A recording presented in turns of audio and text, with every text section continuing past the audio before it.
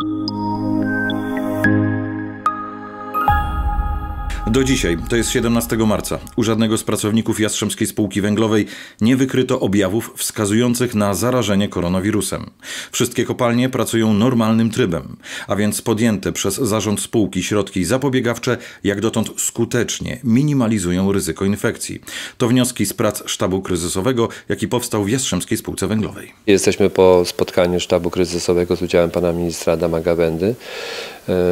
Wysoko ocenił nasze przygotowania, ponieważ chyba byliśmy, jeżeli chodzi o górnictwo, spółką, która najwcześniej zaczęła te działania profilaktyczne wdrażać. W pracach sztabu, oprócz ministra Adama Gawędy, udział biorą przedstawiciele zarządu Jastrzębskiej Spółki Węglowej oraz w formie telekonferencji dyrektorzy kopalń.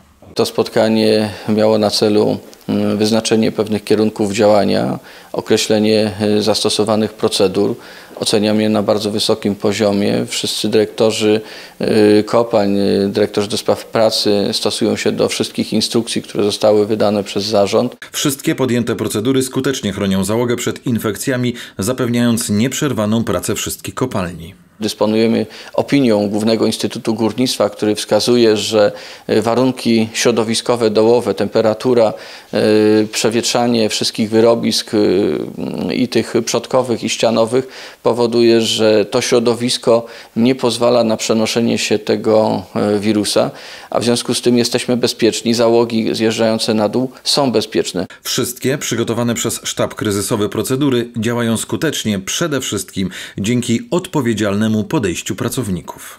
I też chciałem podziękować pracownikom, bo w dużej mierze muszę powiedzieć, tak jakie sygnały sztab dostaje, mamy bardzo odpowiedzialnych pracowników. Przypomnijmy, iż pierwsze działania zarząd JSW podjął wraz z początkiem miesiąca, gdy jeszcze nikt nie dopuszczał tak poważnego rozwoju sytuacji epidemiologicznej. 3 marca mieliśmy y, na zarządzie taką informację odnośnie profilaktyki tej, i tego całego y, procesu komunikowania pracownikom ewentualnego zagrożenia.